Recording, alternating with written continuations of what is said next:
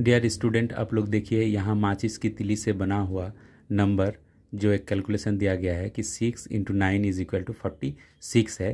तो यह शर्त रखा गया है कि दो माचिस की तिलियों को हटाकर आप इस कैलकुलेशन को सही कर सकते हैं। तो हम लोग क्या करेंगे, सबसे पहले सिक्स के सिक्स से एक तिली को हटा देंगे तो फाइव बन गया। और फाइव के साथ अगर नाइन का मल्टीप्लाई कर देंगे तो फोर्टी फाइव हो जाएगा। यानी इस अंतिम सिक्स से भी एक हटा देंगे। तो ये देखिए five into nine is equal to forty five बन गया। यानी दो माचिस तिली को शर्त के अनुसार हटा दिए। तो आप लोग भी इस तरह से घर में माचिस की तिलियों से बहुत सारे संख्या को बनाकर आप लोग क्या कर सकते हैं कैलकुलेशन को सही कर सकते हैं।